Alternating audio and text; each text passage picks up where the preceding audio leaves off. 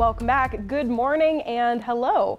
Current conditions right now in Boise. Check this out. This is a live view of the tower cam on top of the Grove Hotel. It is very calm. You'll notice that the camera is not shaking and it might be shaking later on down the road. But first, let's get through right now. Right now, it is 45 degrees in Boise. It does feel like 45. Not a whole lot in terms of actual wind going on right now, but that is going to change come 12 o'clock today. So taking a look at the wind gusts projected for right now, that's five miles an hour in Boise. Not too bad. It's already starting to pick up in Mountain Home, Glenns Ferry, Twin Falls. So there is a wind advisory in place for southwestern Idaho, especially in Twin Falls. It could reach up to 51 miles per hour. So check this out. This is the look at the projected wind gusts for noon today. 36 miles per hour in Boise, 45 in Mountain Home, 47 in Glenns Ferry, and like I said, 51 in Twin Falls.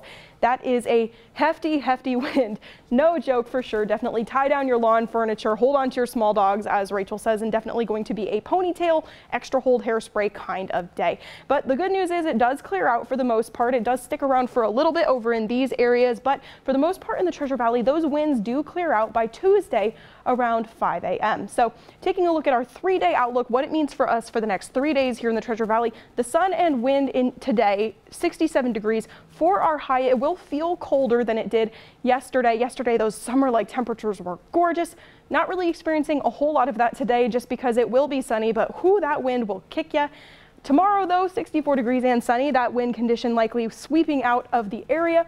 Wednesday, warming up just a little bit, 67 degrees and sunny.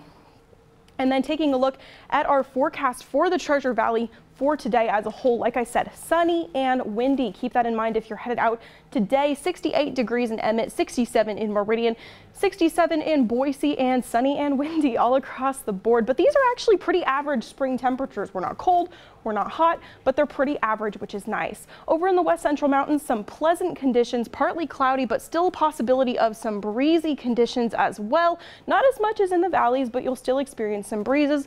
49 in McCall. Over in the east central mountains, much of the same. Mostly sunny, some light winds, but pleasant conditions. Average conditions, average spring temperatures for mid-April, not too shabby.